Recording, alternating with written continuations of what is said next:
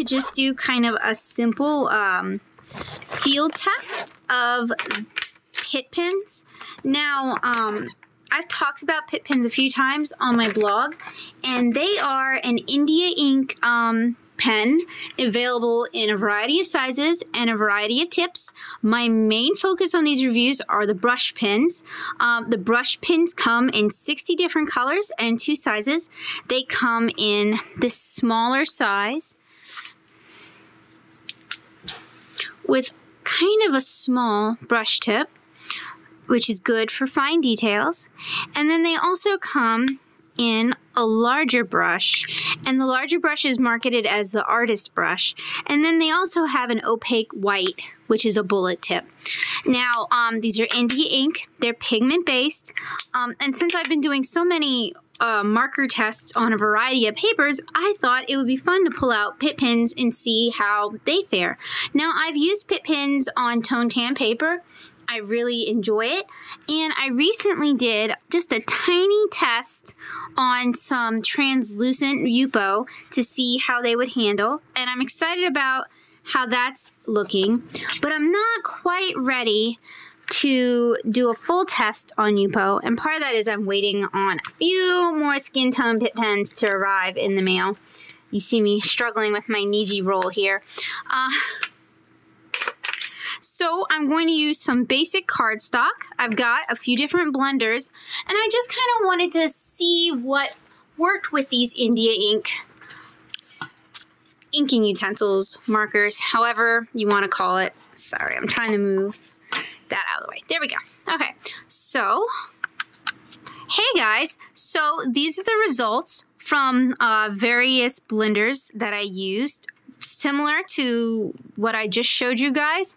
This is on Winsor & Newton marker paper. Uh, so from top to bottom, that's alcohol. So Prismacolor right there. That's what it was. This is Tombow ABT. You do get some movement. That's water. Again, you get some movement. And um, that's the ethanol in the um, blending marker for Winsor Newton pigment markers. Now, Tombow ABT, water, and pigment marker all do cause some movement, but they also can cause uh, paper surface damage even on a marker paper like the Winsor and Newton marker paper. So we're still trying to find a paper and blending combination that works well for Pitt pens. Even if you're being careful, you're going to get some surface abrasion from the brushes, especially if you're working wet in the wet. Now, the only way you can get these markers to blend is if you catch them while they're still wet. That goes for the Tombow ABT, that goes for the water, and that goes for the pigment marker. So I'm going to try another paper and check back in with you guys. All right, so I've got some Crescent no-show Rendr paper, and I've done a few tests with render paper before, and what makes me think it might work is that it is for use with all media. Uh, I guess you guys can't see that. Let me fix that. So wet and dry should work okay on this paper. So, gonna go ahead and get started. Now this paper feels very dry. Like the ink, I mean, it's damp to my touch, but the ink doesn't sit on top the way it was sitting with the um, Winsor and Newton paper. It's soaking in already. And it does start to pill. Um, let me zoom in so y'all can see that. Starting to pill up around here. So already this paper is having some problems. Let's go ahead and do the tests. So this is Prismacolor. That's the alcohol portion of this test. Not really any blending.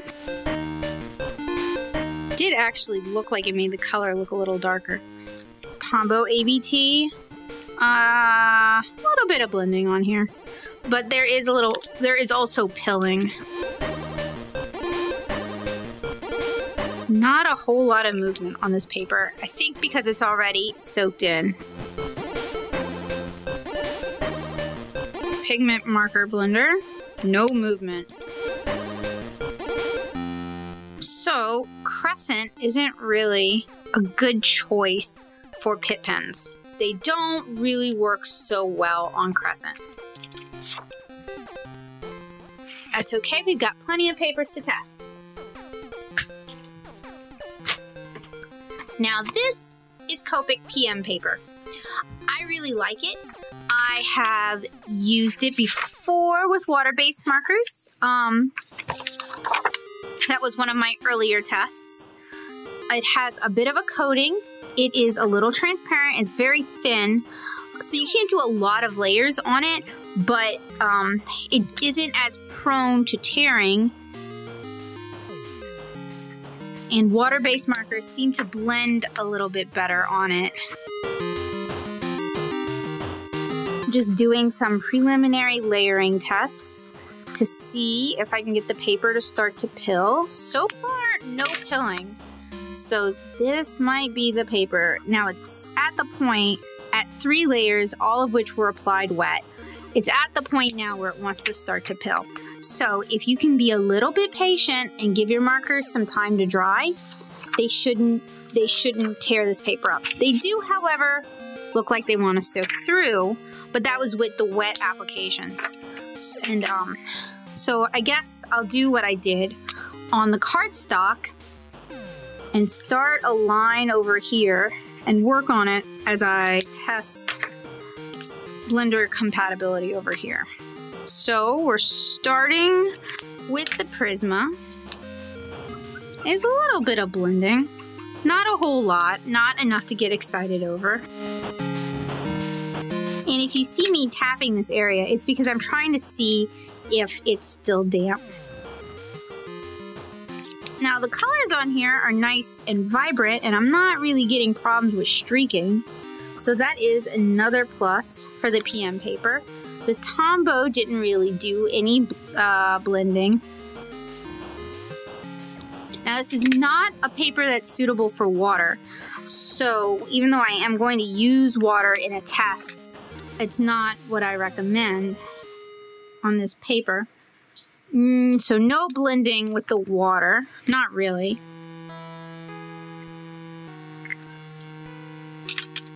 It's a little drier. Not fully dry yet. That's my second layer. And now for the pigment marker. See if that works. A little bit actually on this paper.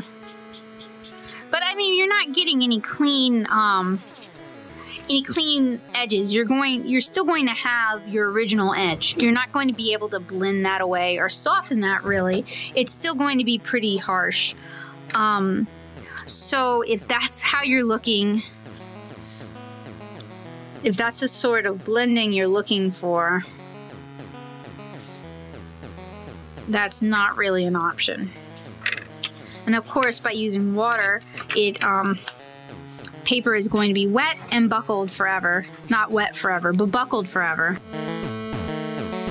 So, since this is one of the more promising papers, I'll pull out a couple of skin tones and see how they fare And they seem to handle very similarly to the um, the brushables, other than my paper is still very wet. So it sort of makes me wonder if brushables are um, an India ink product. So that was Copic PM paper. Uh, it is the most promising I have encountered so far, short of vellum, which I showed you guys earlier. Now, I also have a very gross, grody, dirty, that's my fault, uh, regular Copic marker pad. And I pretty much never use this.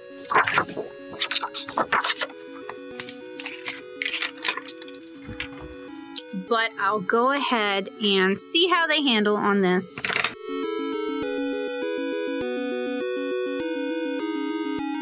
Now my goal is if it's going to pill, I want to find that out now.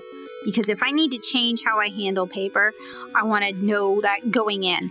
So for three layers, three wet layers, wet enough that you can see the reflection of the water. There is no pilling yet, but it feels like the next layer is going to be enough to start causing surface damage.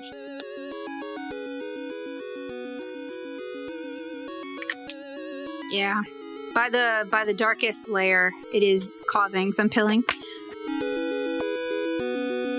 There isn't necessarily a lot of streaking on this paper though.